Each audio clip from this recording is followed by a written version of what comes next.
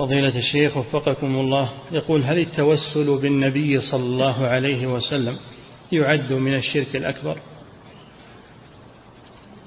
لا ما هو من الشرك الأكبر. من الشرك إلا إذا دعا الرسول. إذا دعا الرسول أو ذبح له أو فهذا من الشرك الأكبر. أما مجرد التوسل من غير أن يتقرب إلى المتوسل به بشيء من العبادة فهذا بدعة ووسيلة إلى الشرك. بدعة ووسيلة إلى الشرك. لا يقال إنه شرك. نعم.